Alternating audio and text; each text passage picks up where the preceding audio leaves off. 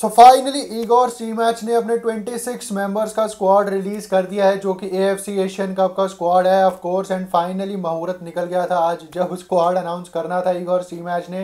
And it is a good squad I think बात करेंगे उस पर क्या है, इस स्क्वाड की स्ट्रेंथ वीकनेसेस एंड क्या एक प्रिडिक्टेड लाइनअप हो सकती है अगेंस्ट ऑस्ट्रेलिया है guys welcome back to my channel and अगर आप चैनल पे पहली बार ही आए हो तो make sure you subscribe to this channel क्योंकि यहाँ पे आपको इंडियन फुटबॉल पे डेली रिलेटेड वीडियोस मिलती रहती हैं।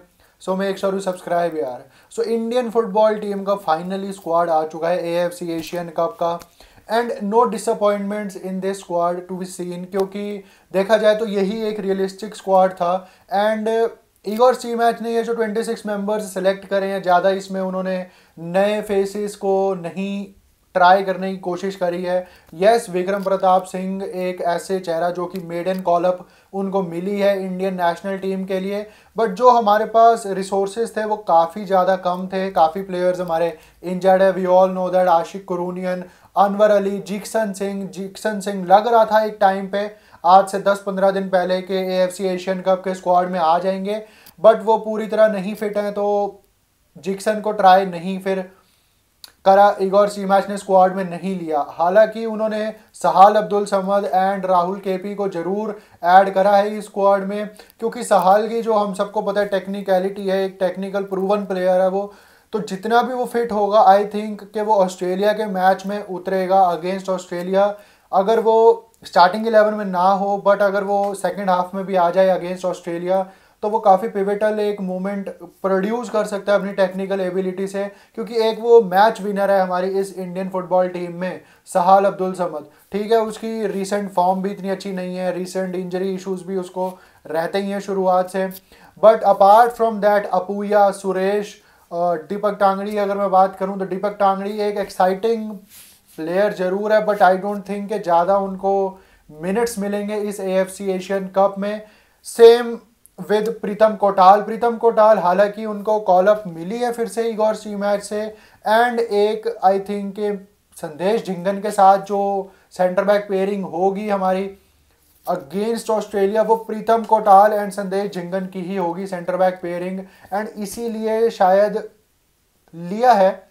इगोर सी मैच ने क्योंकि अगर आप देखो तो लाल चुंगनुंगा, मेहताब सिंह, ये सब अभी काफ़ी यंग है एंड सेंटर बैक पेयरिंग में आप ऐसे प्लेयर्स चाहते हो जिनको एक्सपीरियंस हो साथ में खेलने का, जिनको हाई इंटेंसिटी वाले मैचेस में प्रेशर कोप अप करना आता हो बड़े बड़े मैचेस में उन्होंने इंडिया को रिप्रेजेंट करा हो।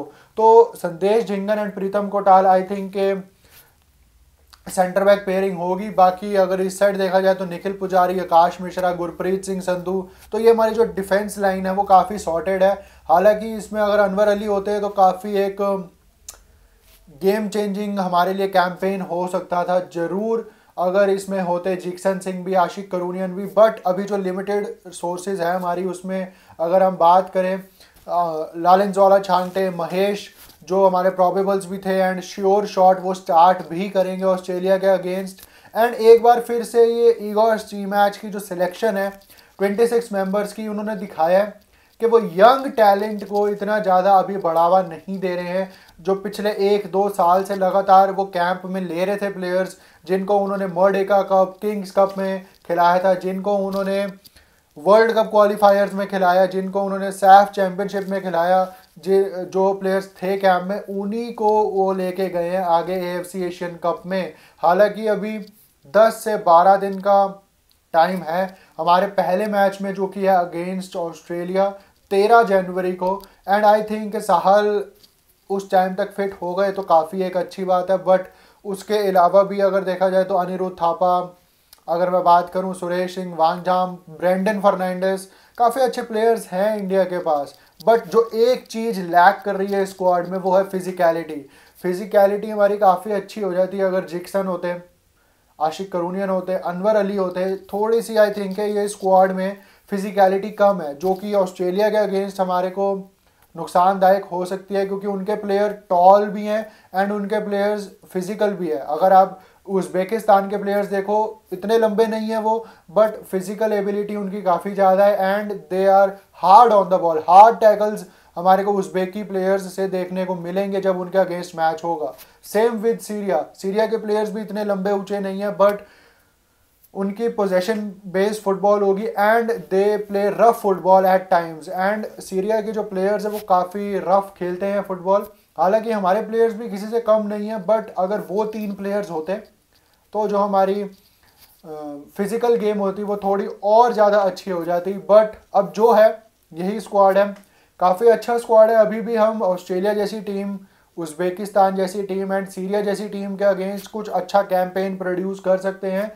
बट लेट सी कि इस स्क्वाड के साथ अब कैसे 10-12 दिन का जो कैंपेन है हमारा, जो हमारा ट्रेनिंग कैंप है सॉरी वो कैसे हम उसमें कौन सी ड्रिल्स करते हैं, किस पे ज़्यादा फोकस रहेगा सेट पीस पे हमारे को क्लिनिकल होना पड़ेगा तीनों अपोजिशंस के अगेंस्ट इसीलिए हमने ट्रैवर सिंक्लेयर को अपनी मैनेजिंग स्टाफ में लाए हैं हम but let's hope for the best कि हम राउंड ऑफ़ सिक्सटीन में पहुँचें या फिर हम तीनों टीम्स में से किसी एक दो के अगेंस्ट अगर हम पॉइंट्स लेके आते हैं तो हमारे लिए वो बहुत बड़ा प्लस बहुत बड़ा मोटिवेटिंग फैक्टर होगा इस ए एफ़ सी कैंपेन से। Do let me know your predictions के हम कैसा स्क्वाड आप ये देखते हो? अच्छा स्क्वाड है और अच्छा स्क्वाड हो सकता था। कौन से प्लेयर्स हैं ऐसे जो आप देख देख, देखना चाहते थे इस टीम में जो नहीं है फ़िलहाल? आई नो जय गुप्ता जैसे प्लेयर्स ईशान पंडिता है स्क्वाड में जय गुप्ता नहीं है। देखा जाए तो काफ़ी ऐसे प्लेयर्स हैं जो ऐड होने चाहिए थे बट नहीं है वो भी, क्योंकि एक्सपीरियंस के साथ गए हैं एक और Stimac do let me know your predictions in the comment section Australia के अगेंस्ट क्या प्रोडिक्शंस है? तो यही थी आज की वीडियो अगर आपको पसंद आई हो तो लाइक शेयर एंड सब्सक्राइब ज़रूर कर देना। Till then